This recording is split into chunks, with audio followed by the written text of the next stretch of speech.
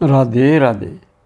इस संसार में सबसे बहुमूल्य क्या वस्तु है जो प्रभु ने हर व्यक्ति को दी है, हर व्यक्ति के पास है, हर समय उसके पास रहती है। इंसान उसको हर पल अनुभव भी करता है, परंतु उस पर ध्यान नहीं देता, उसकी कदर नहीं करता और उसको समझने का प्रयास भी नहीं करता। भक्तों, आज हम आपको उस बहुमूल्य वस्तु के बारे में बताने जा रहे हैं। अगर आप उसका रहस्य जान लेते हो, समझ लेते हो तो आप कभी भी दुखी नहीं रह सकते। भक्तों, ये वस्तु है श्वास, आपके अपने श्वास।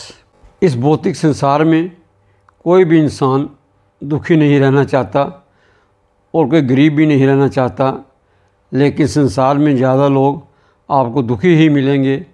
लाखों लोगों में से कोई बिरला ही होगा जो आपको ये कहेगा कि वो अपने जीवन से संतुष्ट है वो सुखी है। ये कैसे संभव हो वक्तों कि हर व्यक्ति जो है उसका दुखों से छुटकारा हो? इसके लिए आपको अपने स्वास्थ्यों पर ध्यान देना होगा। स्वास्थ्यों में छुपे हुए उस गहरे रहस्य को समझना होगा। अक्सर कहा जाता है कि बिन मांगे जो भी चीज़ हमें मिलती है, जो चीज़ हमें फ्री में मिलती है हम उसकी कदर नहीं करते। श्वास ही हमारे जीवन का सार हैं। जब तक श्वास हैं, तब तक हम जीवित हैं और श्वास नहीं है तो हम मृत्य हैं। ये सभी लोग जानते भी हैं, लेकिन इस तरफ़ उनका ध्यान जाता नहीं है। अगर जाता भी है तो इसको वो महत्व नहीं देते। भक्तों, जिनका ध्यान श्वासों पर जाता है, या कह लो जो श्वासों पर ध्यान देते हैं, ना ही वे जीवन में दुखी होते हैं और ना ही वो गरीब रहते हैं। ईश्वर हमारे श्वासों में बसते हैं।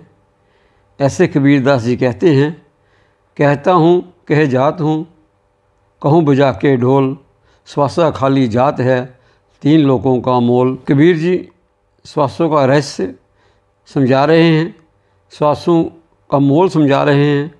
कहते हैं, मैं ज़ोर ज़ोर से डोल पीट पीट कर कहता हूँ कि हर श्वास जिसमें भगवान का सिमरन नाम जप, भजन नहीं चल रहा वो श्वास खाली जा रही है, व्यर्थ जा रही है। जो श्वासें व्यर्थ जा रही हैं, वह लौट कर नहीं आती।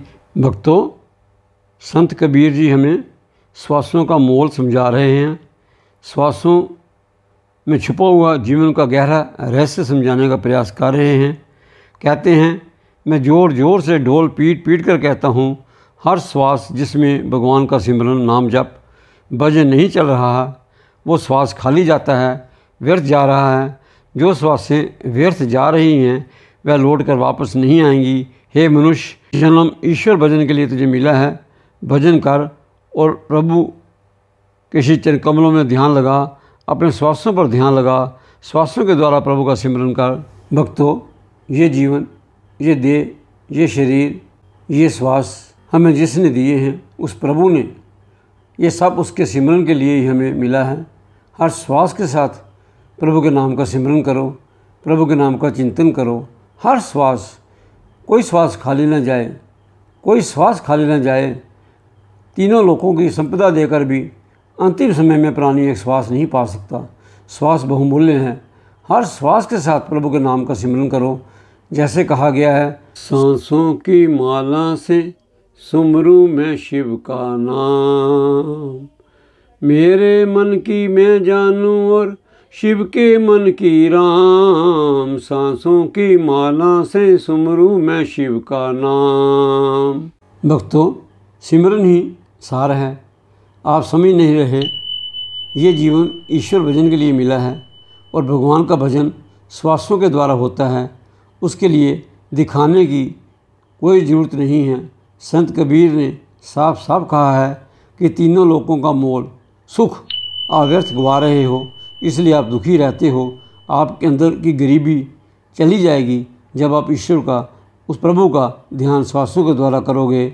कबीरा, सिमरन, सार है और सकल जंजाल।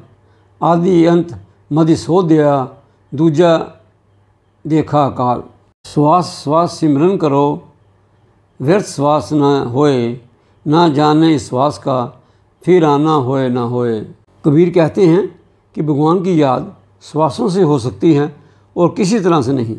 भक्तों, मन से, वाणी से तो होती ही है, परंतु श्वासों से उसकी याद करोगे, सारे दुख, कष्ट कट जाएँगे और अंदर की गरीबी भी दूर हो जाएगी। सुमरन मार्ग सहज का सतगुरु दिए बताए, श्वास श्वास सिमरन करूँ, एक दिन मिलसी आए। कबीर जी कहते हैं कि श्वास श्वास के साथ अगर उसका सिमरन करोगे तो एक दिन वश मिलेगा। सिमरन मार्ग सहज का सतगुरु दिया बताए श्वास श्वास सिमरन करूँ, एक दिन मिलसी आए।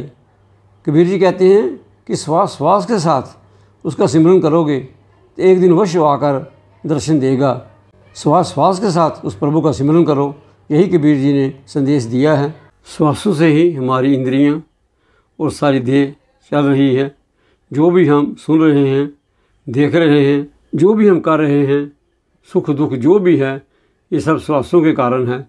श्वासों पर निर्भर करता है। इसलिए श्वासों का महत्व समझो, श्वासों का सार समझो, श्वासों का रहस्य समझो। भक्तों, अगर आपने श्वासों का रहस्य जान लिया, श्वास के द्वारा सिमरन कर लिया तो आपको जीवन में कभी गरीबी आ ही नहीं सकती, आपको कोई दुख सता ही नहीं सकता और देह त्यागने के वक्त आपको कोई भय नहीं लगेगा। जो दूत लेने आते हैं, वो नहीं आएँगे या हम दूत नहीं आएँगे आपको लेने समय भगवान के पार्षद आएँगे और बड़े हर्ष के साथ विमान में बिठाकर आपको ले जाएँगे। भक्तों, श्वासों के द्वारा प्रभु का सिमरन करो। श्वास बहुमूल्य हैं। श्वास जो खो जाता है, जो व्यस्त जाता है, वो वापस नहीं आता है। जैसे ऋषि मुनि कहते हैं कि श्वास भी खाली न जाए और प्रभु का सिमरन हर श्वास के साथ करो। हर श्वास के साथ उस परम पिता का ध्यान करो, उसका सिमरन करो। आपके जीवन में दुख कभी आएगा नहीं। सुख दुख आपको समान लगने लगेंगे। सर्दी, गर्मी, सुख दुख आपके लिए कोई महत्व नहीं रखेंगे। स्वास्थ्यों के द्वारा निरंतर प्रभु का सेवन करते रहिए, मन से चिंतन करते रहिए। भक्तों, आज के लिए बस इतना ही। आशा है आज का ये वीडियो आपको अच्छा लगा होगा। अगर अच्छा लगे तो लाइक करें, अपने ग्रुप में शेयर करना न भूलें। और अगर चैनल पर पहली बार आए हैं तो सब्सक्राइब अवश्य करें। राधे राधे।